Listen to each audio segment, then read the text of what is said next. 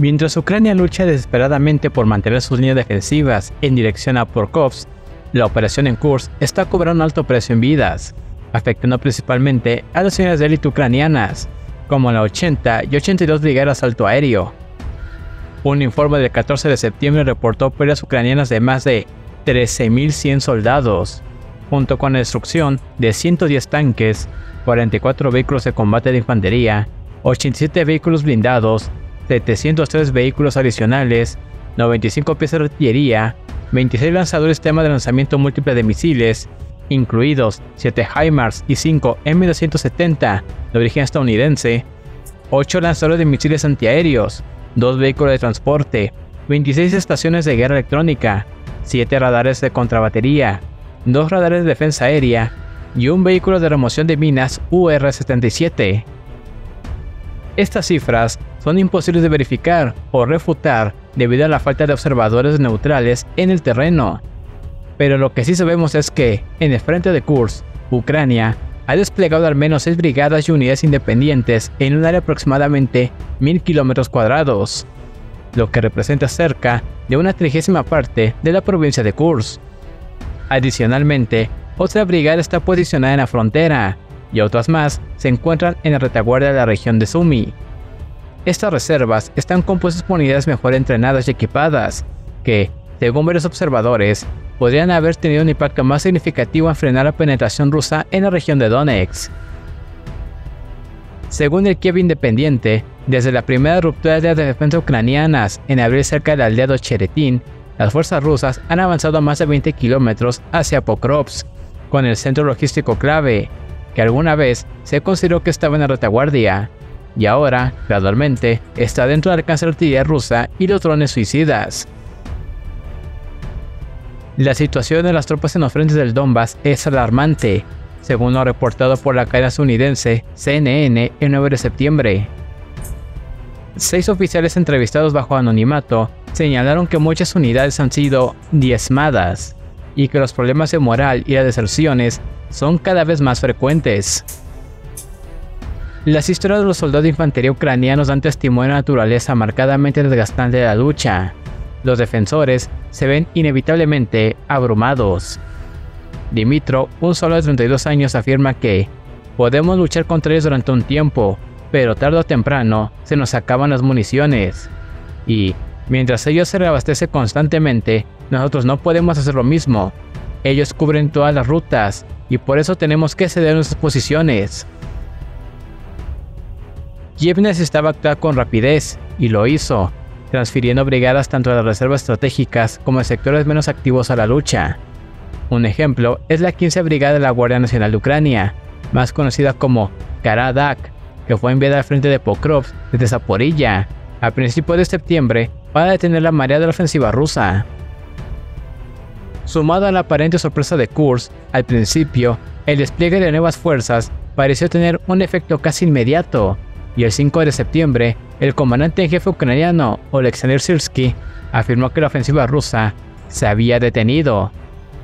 Sin embargo, sobre el terreno, la situación sigue siendo casi crítica, y desde la afirmación de Sirsky, las fuerzas rusas han reanudado sus avances hacia Pokrovsk, mientras amenazan con rodear a un gran grupo de fuerzas ucranianas al sur del saliente principal.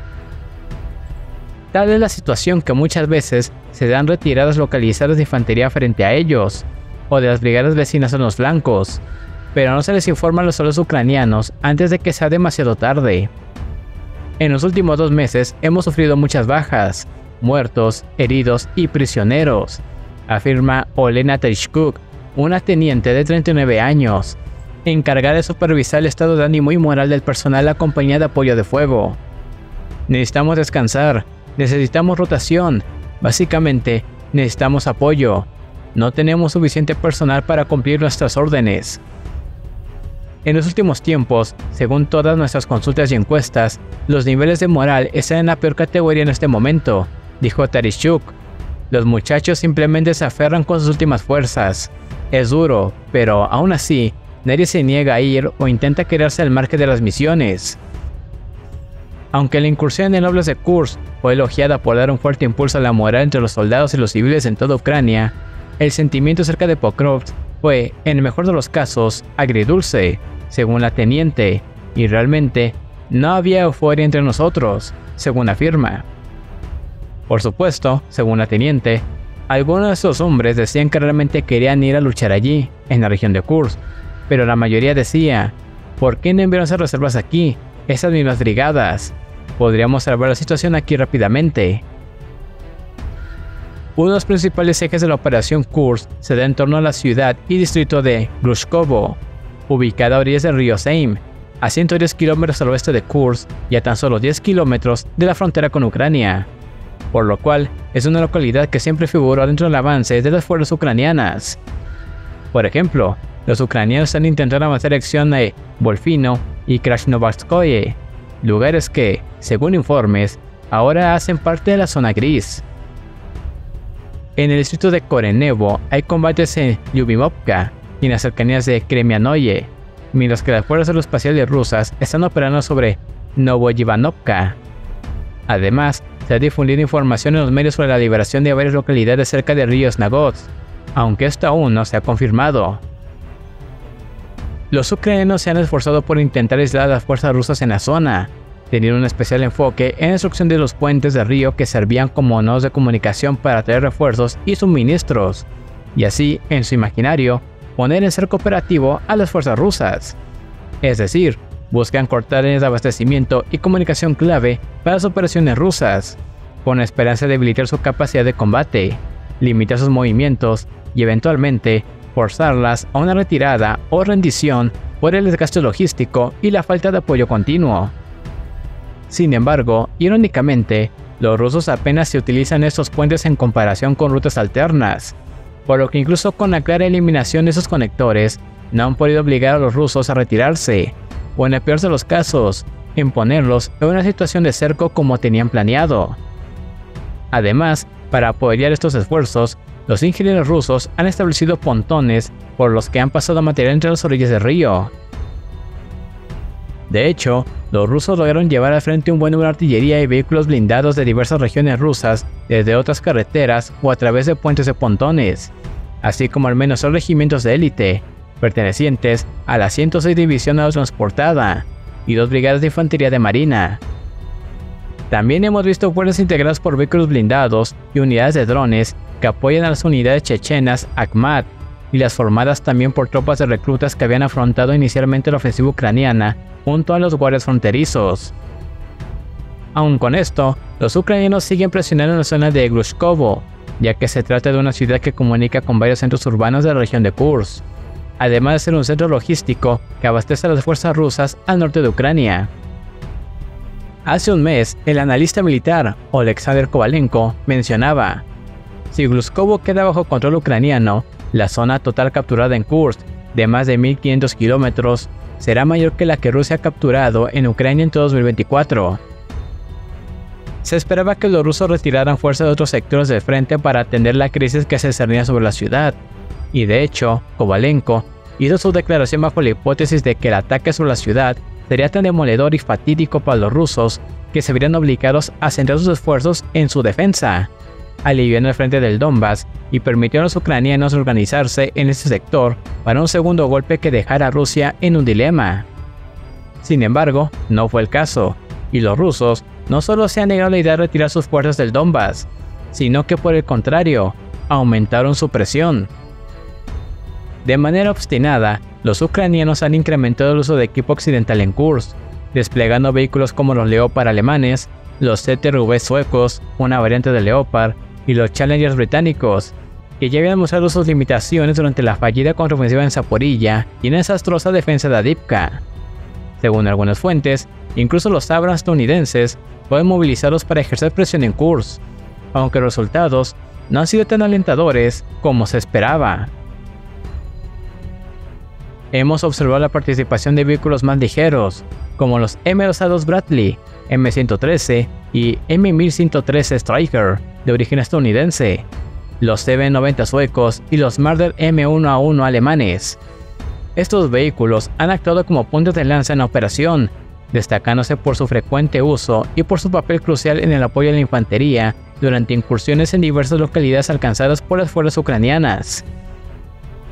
Aunque se podría haber participado en un escenario similar al de 1943, con los tanques liderando la carga, rompiendo defensas y enfrentándose directamente contra otros vehículos blindados, en esta ocasión se ha observado una inversión de roles. Los vehículos de combate se encuentran en la primera línea, mientras que los tanques los utilizan principalmente como unidades de apoyo artillero. Han sido los vehículos de combate de infantería y FOV los que han asumido el protagonismo en las operaciones iniciales, enfrentándose directamente a sus contrapartes rusas. Por su parte, los tanques se han centrado en consolidar posiciones ganadas, proporcionando fuego de apoyo contra posiciones defensivas enemigas. En el lado ruso, hemos observado una mayor participación de sus tanques en la primera línea de combate, una diferencia marcada que se explica por el acceso limitado de Ucrania a este tipo de vehículos. Los confiables T-64 prácticamente han desaparecido y se han vuelto una rareza en los diversos escenarios del conflicto. Los Leopards, aunque más comunes, no han resistido bien el desgaste intensivo de la guerra. Los pocos Challenger han estado inactivos durante meses y ahora en Kursk no logran mantenerse al ritmo de las operaciones. Por su parte, los Abrams, que llegaron con la reputación de ser el rey de los tanques, no han cumplido con las expectativas y no han logrado superar a los tanques rusos como se esperaba. Igual no se podría esperar mucho de un tanque que fue fácilmente destruido por pastores de ovejas armados con AK-47 en Afganistán y Yemen. Y tal ha sido así que los mismos ucranianos han afirmado que los Abrams tienen una serie de problemas técnicos, incluido un blindaje insuficiente para los campos de batalla modernos. Por esta razón, los ucranianos se han visto obligados a equipar sus vehículos con el blindaje reactivo explosivo Contact 1 de la era soviética. Este blindaje consiste en pequeñas placas dispuestas a lo largo de la estructura del vehículo, cubriéndolo casi por completo gracias a su diseño. Ofrece una protección efectiva contra proyectiles de carga hueca, conocidos como HIT. Su ligereza y diseño permiten aumentar la defensa de los vehículos sin incrementar significativamente su peso, proporcionando una solución rápida, económica y viable frente a ciertas amenazas del campo de batalla. Los tanques fueron retirados temporalmente a días del frente en abril y volvieron durante la batalla de Adipka, momento desde el cual se cree que más de 20 de los 31 Abrams entregados a Ucrania han sido destruidos, inutilizados o capturados. La mayoría de las muertes capturadas en video fueron logradas por artillería guiada, de precisión o por drones kamikaze de un solo uso, mientras que se confirma que una fue lograda por un tanque ruso de 72B3 después de que los dos intercambiaran disparos. Por esta razón, los Bradley, Striker, M113 y Marder han sido usados con mayor frecuencia, en comparación con los tanques, que son más escasos. Pero a pesar de ello, los rusos han implementado una campaña enfocada en la destrucción de este equipamiento, especialmente en Kursk y en Gluskovo. En esta zona hemos visto unidades mixtas, como los TRV-122 y Challenger operando conjuntamente para intentar superar a las fuerzas rusas. Sin embargo, se ha vuelto cada vez más común que soldados y drones rusos embosquen o enfrenten directamente a los vehículos ucranianos. Desde pequeños pelotones antitanque apostados contra las carreteras, esperando el paso de algún blindado, hasta drones que buscan y destruyen cualquier objetivo con ruedas u orugas, e incluso de artillería que intercepta y elimina esos vehículos en el acto e incluso han podido capturar ilesos algunos de esos ejemplares, y han sido transportados a sus propias líneas para exponerlos tal como hicieron con las armas alemanas hace casi un siglo. Hace 80 años, Prokhorovka se convirtió en el cementerio de los tanques alemanes, y hoy, Gluskovo parece imponer un destino similar al equipo militar occidental, subrayando las duras consecuencias de enfrentar a Rusia en su propio terreno. En un video, se puede ver un mar de Alemania envuelto en llamas durante los combates en Gluskovo. En otra escena, un segundo Murder es captado por un dron con las escotillas abiertas, lo que permite que el dron lance una bomba en su interior, desatando un incendio que lo deja fuera de combate. Cerca de Shevtukovka, las tropas rusas destruyeron un tanque CTRV-122, equivalente al Leopard 2 a 5, mientras que otro video muestra un CB-90 sueco desplazándose por una carretera bajo intenso fuego enemigo, aparentemente intentando escapar tras un ataque inicial ruso con artillería. Durante su retirada, fue alcanzado por un dron que lo inutilizó, obligando a la tripulación a abandonarlo. Sus aliados, los Murdoch y Striker, también fueron abatidos en el acto momentos antes. Ambas imágenes nos transportan a los ecos de batallas históricas que resuenan en el presente. Por un lado, vemos a los alemanes enfrentar una derrota en Kursk, de sus tanques Tiger y Ferdinand, símbolos de la ingeniería militar alemana, terminaron destruidos y expuestos como trofeos en el Museo de Kubinka, reflejando la brutalidad y el fracaso de una ofensiva que aspiraba a cambiar el rumbo de la guerra. Por otro lado, la escena nos recuerda la aplastante victoria de Rusia sobre Suecia en la batalla de Poltava en 1709, un enfrentamiento que marcó el comienzo del fin del imperio sueco como una gran potencia europea y reafirmó el ascenso de Rusia como una fuerza dominante.